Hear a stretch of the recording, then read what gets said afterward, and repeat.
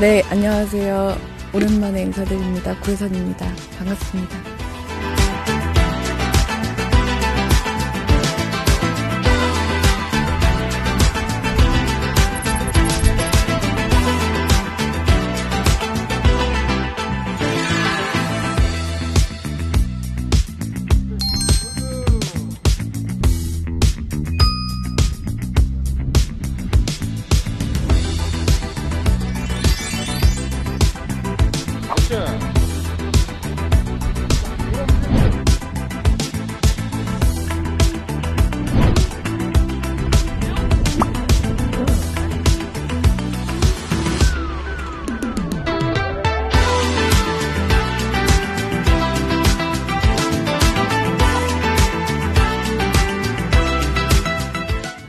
어, 어떤 속옷을 입고 편안해지는 그런 느낌을 좀, 어, 만들고 싶어서.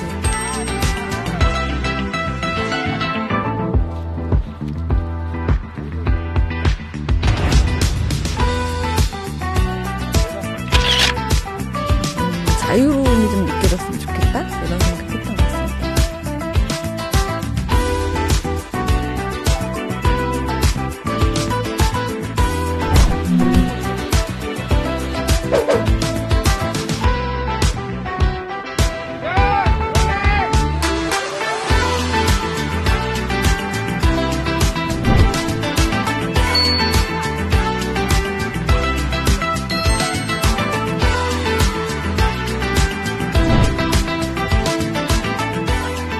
잘 만들려고 현재 굉장히 노력을 하고 있는데요. 잘 만들어져서 인사드렸으면 좋겠어요. 그리고 트라이도 많이 사랑해 주셨으면 좋겠습니다.